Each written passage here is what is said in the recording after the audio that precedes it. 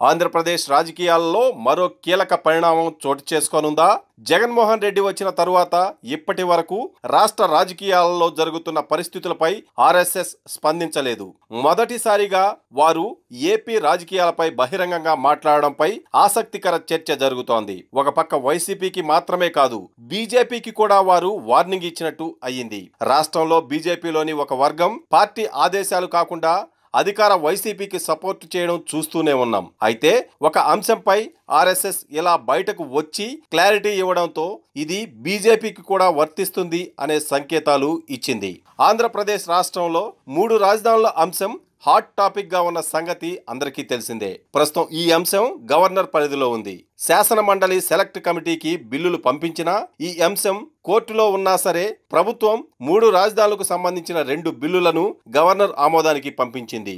అయితే గవర్నర్ ఏ నిర్ణయం తీసుకుంటారా అని అందరూ ఆసక్తిగా గమనిస్తున్న సమయంలో ఆర్ఎస్ఎస్ సిద్ధాంతకర్త రతన్ శారదా చేసిన ట్వీట్ ఇప్పుడు సంచలనంగా మారింది.